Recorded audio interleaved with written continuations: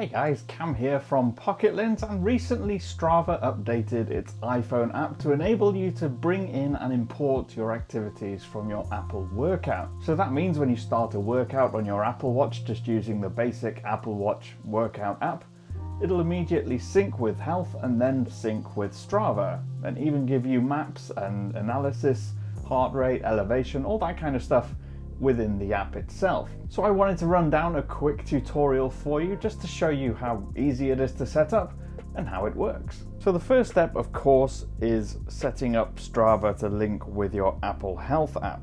And to do that you just open your Strava app, hit the little profile tab on the bottom and then you will see there's a settings cog right in the top right hand corner. Select this and then about a third of the way down the screen there's an option that says applications Services and Devices. Tap on that and then select Health from the Services menu and then select Health again.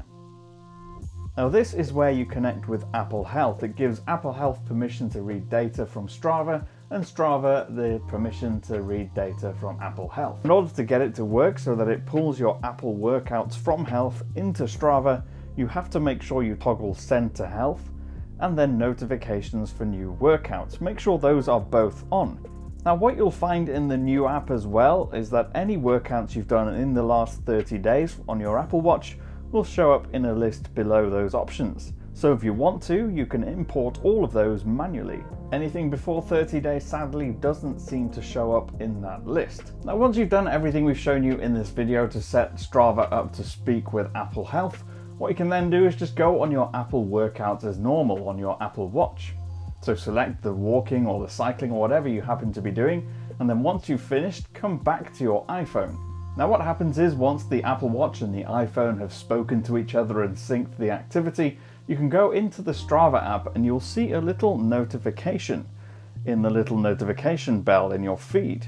And here you can see that it says right at the top, your Apple Watch workout is ready to import. Now, when you tap on that notification, it'll bring you to that list of workouts. You can tap import and you're ready to go. It'll import into your feed and show up as a normal Strava activity. Once you've done that, you can go to your feed, just click on your tab so you can see only your activities rather than all your contacts and you'll see that all of your activities from your Apple Watch have been pulled in. If you've been outside running or walking or cycling, you'll see they've even got a map on them showing you where you went and the route that you took. And if you view analysis, you can have a deep dive into your elevation, your pace, your heart rate and your heart rate zones if you're a Summit user. It's actually really rather good. So that's been it, a quick tutorial for you on how to use your Apple Watch workouts with Strava. We hope you found this useful. If you have, please do thumbs up this video, hit subscribe, and wait for more videos. I've been Cam, I'm at Cam Bunton on Twitter.